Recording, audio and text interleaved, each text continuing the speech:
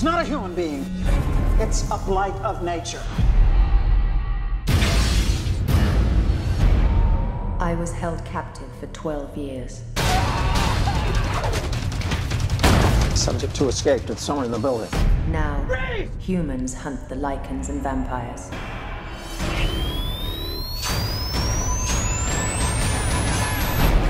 This is a new war.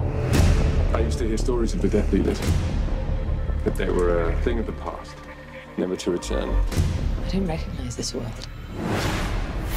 We've lived safely for years, and now you've brought humans into this colony. We stand and we fight.